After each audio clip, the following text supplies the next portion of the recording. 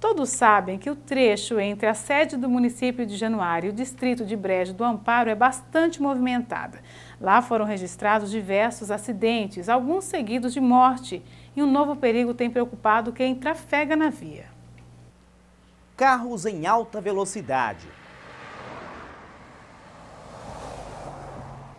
Pessoas fazendo caminhada ou uma corridinha para aprimorar o condicionamento físico e a busca da qualidade de vida de manhã e ainda mais à tarde, o fluxo é intenso.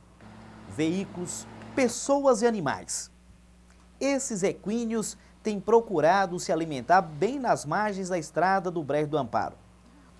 Como ficam soltos, sem o acompanhamento dos donos, de repente decidem atravessar. É aí que está o perigo. Quem não estiver com velocidade reduzida pode colidir com esses animais e ocasionar um acidente grave. As reclamações de quem transitam pela estrada do Brejo têm aumentado a cada dia. Essa semana eu tenho caminhado aqui todos os dias. Ontem, inclusive, o asfalto estava cheio de animais na pista, exatamente no meio da pista. E o trânsito aqui é bem intenso, né? Aqui nós temos aqui o trânsito que vai para cidades próximas, Córrego Marinho, Bonito de Minas, né? Então o trânsito é intenso nessa, nessa, nesse trecho aqui do Brejo do Amparo. Qual seria seu pedido? Para que alguém tome providências. Eu não sei quem, se é a prefeitura, se é o DR, mas que seja tomado providências para que esses animais os, é, sejam intimados, os donos, para que retirem os animais da pista.